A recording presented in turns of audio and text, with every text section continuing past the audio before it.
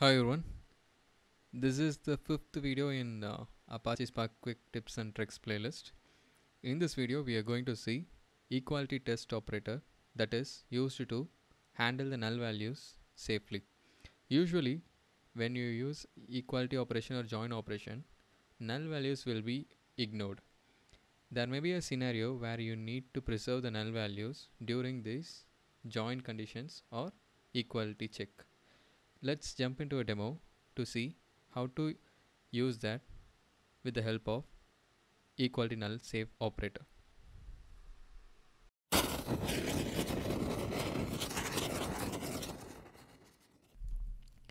I have already initialized a Spark session in my local and here I am creating a sample data frame with the ID and value columns. In value we have none and let's see how this none is ignored while using normal equality operator and how none is preserved when you are using equality null safe method to use.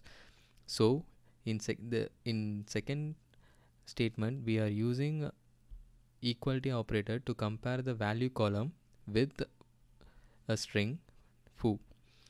But if you see here when you compare value directly with foo when it matches with foo it gives true.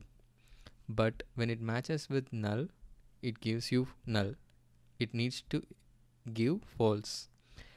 At the same time when we are using equality null safe operator when it actually matches with a string it returns true. When it doesn't matches either if it sees null or any other values it returns false.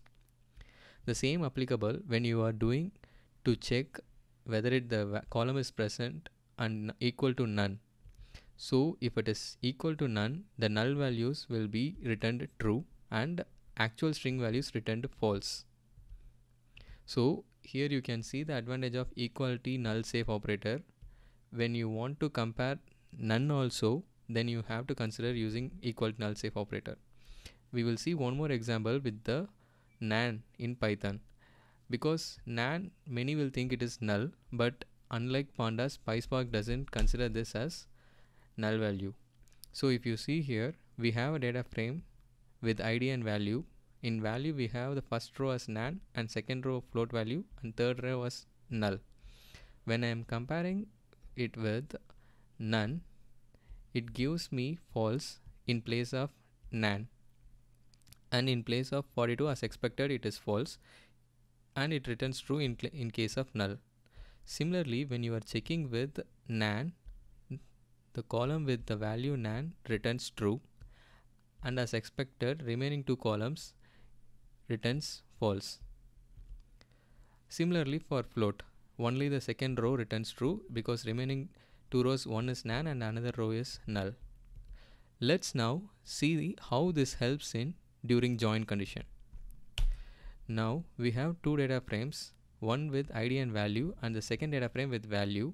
In both data frame we have null in second row. Now we are going to join using equality operator and also using equality null safe operator. And you can see using equality null safe operator the null rows will be preserved. And when using normal equality operator you can see no matches.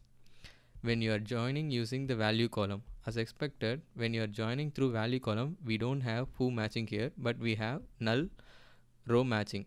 But in case of equality operator you won't get this null record. You will be losing it. But if you want to consider also this null scenarios in your conditions then you need to go with equality null safe operator. As you can see here null rows are preserved while in join condition. To see another example i have two data frames again.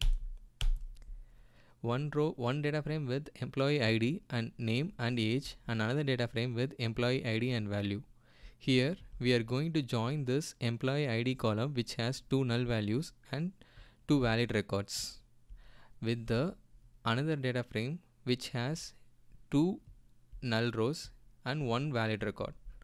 When I am joining with normal equality operator you can see this row is getting ignored.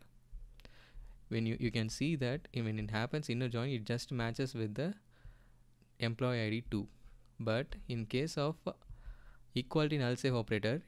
Here it, you have to note it is not happening uh, it is there is no outer join has is happening here. Here it is in inner join you can see null records are preserved. Thank you for watching. If you like this video please like share and subscribe to tech island